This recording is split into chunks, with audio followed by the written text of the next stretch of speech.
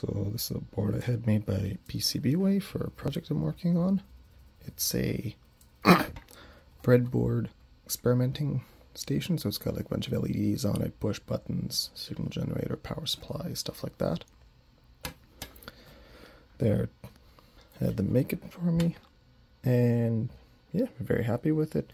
Quick turnaround time, it took about two, three days to manufacture, and then shipped my doors about a week. So, very happy with that. Fast shipping time, affordable shipping. Don't remember how much I paid right now for the shipping, but it's very affordable. Very good quality board. Looks to be well made. Traces all look good. And yeah. Excellent quality, and I will be using them again for other projects. Overall, very happy. Five stars. Thank you. Have a nice day.